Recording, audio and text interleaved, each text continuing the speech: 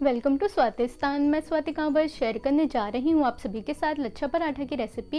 ये लच्छा पराठा बनाने का सबसे आसान तरीका है। इस वीडियो में मैंने लच्छा पराठा बनाने के प्रोसेस में हर एक सिंगल स्टेप को डिटेल में शेयर किया है, जिससे कि आप पहली बार में ही एकदम परफेक्ट लच्छा पराठा बना पाएँगे। तो चलिए आइए शुरू करते हैं बनाना। लच्छा पराठा बनाने के लिए हमको यहाँ पे लेना है दो कप गेहूँ का आटा आधा कप मैदा, एक कप आटे के लिए हमको एक चौथाई कप मैदा लेना है तो इसी हिसाब से हमको रेशो यहाँ पे लेनी है। थोड़ा सा नमक डाल के इसको मिक्स करना है। अब यहाँ पे इसको मिक्स करने के बाद हमको डालना है बैचेस में पानी। इसी तरीके से थोड़ा थोड़ा करके, जैसा कि आप देख सकते हैं, और इनको कंबाइन करना स्टार्ट करना है। ये देखिए थोड़ा थोड़ा करके पानी डालते रहना है और इनको इकट्ठा करना है। यहाँ पे मैं आपको सारे स्टेप्स डिटेल में बताऊँगी जिससे जो बिगनर्स हैं वो भी आसानी से बना पाए। यहाँ पे हमको सॉफ्ट डो बना के तैयार करना है तो इसलिए हमको यहाँ पे आराम से हल्के हाथों से इसको गूंदना है। अब जैसा कि आप देख सकते हैं कि ये कंबाइन होना स्टार्ट हो चुका है तो अब यहाँ पे हमको इसी तरीके से ही आटे को इकट्ठा करना है। पानी का यहाँ पे हमको ध्यान रखना है कि बिल्कुल इसी तरीके से ही थोड़ा थोड़ा करके पानी डालना है। और जब ये यहाँ पे इस तरीके से इकट्ठा होने लग जाए तो इस पॉइंट में हमको डालना है लगभग एक चौथाई चम्मच तेल। ये हमारे ये जो आटा हम अभी लगा रहे हैं, इसको स्मूथ करेगा और सॉफ्ट भी बनाएगा। हमने यहाँ पे मैदा भी डाला है तो इसलिए हमको यहाँ पे थोड़ा सा तेल डालना ज़रूरी है। और अब हमको यहाँ पे लगभग एक से दो मिनट के लिए और इसको गूंदना है। अब इस पॉइंट में हम जितना अच्छा अपना आटा गूंदेंगे, उतने ही अच्छे हमारे पराठे बनकर तैयार होंगे।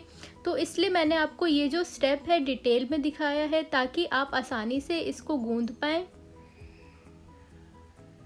और अब इस पॉइंट में जब ये अच्छे से स्मूथ हो जाए सॉफ्ट हो जाए तो हमको इसको ना ढकना है 15 से 20 मिनट के लिए कम से कम। ये देखिए, बिल्कुल इसी तरीके से ही और ऊपर थोड़ा सा ऑयल लगा दें जिससे कि इसमें जो मॉइस्चर है वो बना रहे। और यहाँ पे मैंने ऑयल डाला है, घी नहीं डाला है क्योंकि मुझे अपने पराठे ज़्यादा खस्ता नहीं चाहिए सॉफ्ट चाहिए। अगर आपको खस्ता पराठे चाहिए तो आप घी डाल सकते हैं। अब बस इसको हमको ढकना है पंद्रह से बीस मिनट के लिए। आप चाहे तो गीला कपड़ा करके भी इसको ढक सकते हैं। मैं इसको नॉर्मली प्लेट से ढक रही हूँ। पंद्रह से बीस मिनट हो चुके हैं मेरे को इसको ढके हुए और जैसा कि आप देख सकते हैं कि ये पहले से और भी ज़्यादा सॉफ्ट हो चुका है और बस इसी तरीके से ही आपको आखिरी तीस से चालीस सेकंड के लिए और इसको गूंदना है एक बार। अब ये हमारा डो एकदम परफेक्ट बन चुका है लच्छा पराठा बनाने के लिए। मैं साइड में ये आटा और रख रही हूँ। अब हमको यहाँ पे थोड़ा थोड़ा पोर्शन लेना है, जिस साइज़ के हमको लच्छा पराठा बनाने हैं, उसके अकॉर्डिंग और इनको स्मूथ करके ऐसे बॉल साइज़ बनाना है। ये देखिए, बिल्कुल इसी तरीके से ही थोड़ा थोड़ा पोर्शन लेना है रोल करना है राउंड शेप देनी है। अभी मैं आपको यहाँ पे दो लच्छा पराठा बना के दिखाऊँगी।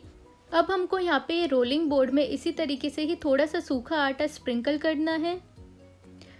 और ये बॉल्स को फ्लैट करके, इसमें सूखा आटे से कोट करके, अब यहाँ पे इसको राउंड शेप देनी है। ये देखिए, बिल्कुल इसी तरीके से ही क्लॉकवाइज हमको चलना है। हल्के हाथों से बेलन का यूज़ करना है। और इसको जैसे हम रोटी बेलते हैं ना, बिल्कुल वैसे ही बेलना है। यहाँ पे हमने मैदा भी मिक्स किया है तो इस वजह से इसमें थोड़ा सा खिंचाव रहेगा। तो जब भी आपको लगे कि ये चिपक रहा है तो आप हल्का सा सूखा आटा लगा सकते हैं और फिर इसको रोल कर सकते हैं। और ये हमको रोटी से थोड़ा सा मोटा ही रखना है। इसकी राउंड शेप देने के बाद अब हम इसमें ये ऑयल लगाएँगे। ये देखिए, बिल्कुल इसी तरीके से ही हमको स्प्रेड करना है। आप इसकी जगह मक्खन का यूज़ भी कर सकते हैं। और फिर इसके ऊपर हमको सूखा आटा स्प्रिंकल करना है। ये देखिए, बिल्कुल इसी तरीके से ये पहले ऑयल हमने इसलिए लगाया है क्योंकि अभी हम नेक्स्ट स्टेप में लेयर्स बनाएँगे।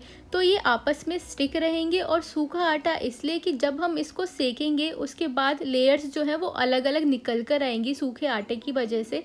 तो ये स्टेप काफ़ी ज़रूरी है। और अब ये देखिए, इसी तरीके से ही फोल्ड कर करके हमको लेयर्स बनानी है और हल्के हाथों से इनको चिपकाना है। ऑयल की वजह से ये आराम से स्टिक हो जाएँगे।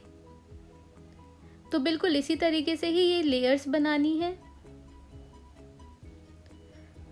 और अब इनको हल्का सा स्ट्रेच करना है।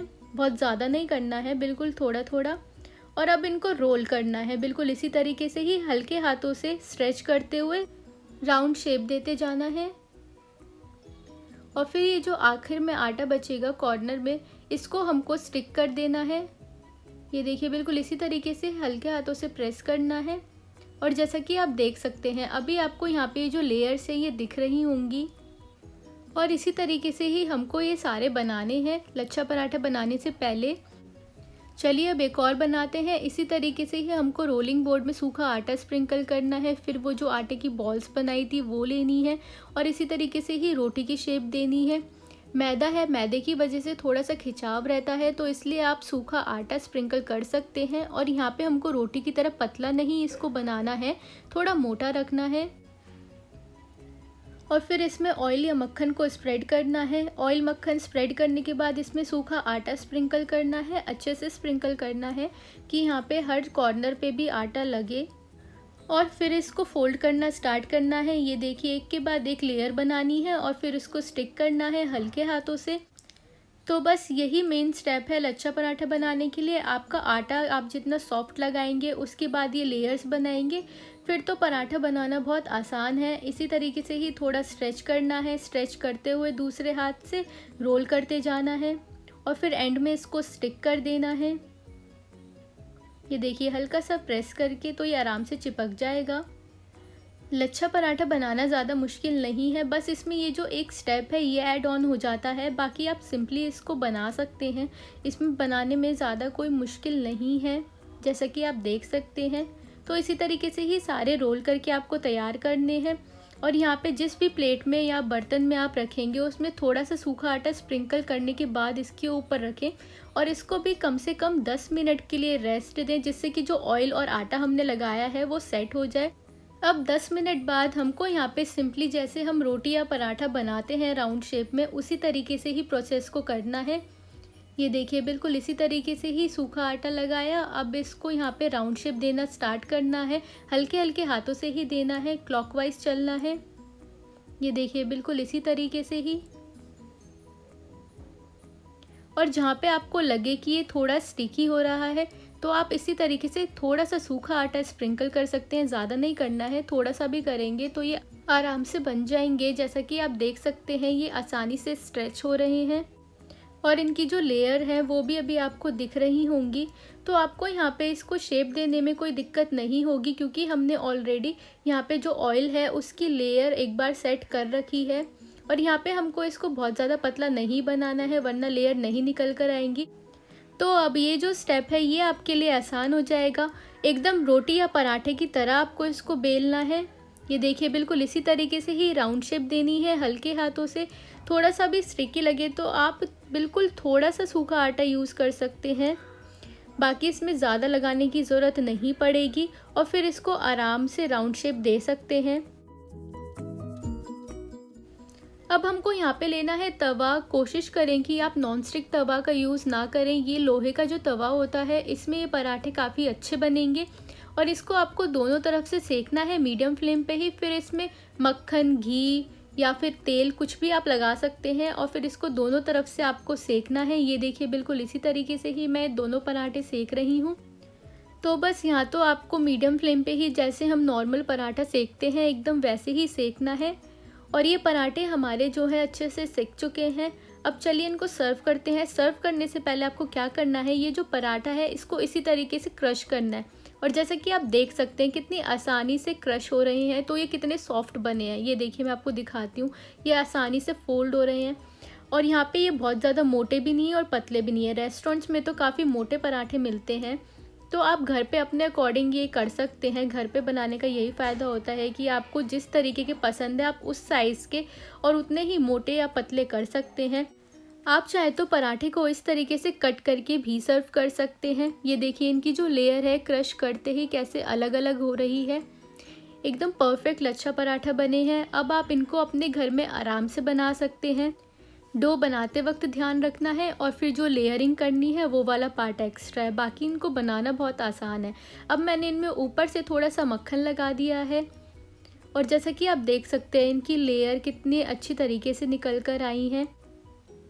यही एक परफेक्ट लच्छे पराठे की निशानी होती है। बस थोड़ा सा हरा धनिया और डाल रही हूँ ताकि ये देखने में और भी ज़्यादा अच्छे लगे। सो so, ये है मेरी लच्छा पराठा की रेसिपी अगर आपको मेरी वीडियो यूज़फुल लगी हो आपको नई रेसिपी सीखने को मिली हो तो मुझको कमेंट करके ज़रूर बताएँ। मेरी इस वीडियो को लाइक करें शेयर करें। अगर आपने अभी तक मेरा चैनल सब्सक्राइब नहीं किया है तो इसको जल्दी से कर लें और सब्सक्राइब करके साइड में बेल आइकन दबाना ना भूलें ताकि मेरी वीडियो की नोटिफिकेशन आप सभी को सबसे पहले मिले। Thanks for watching.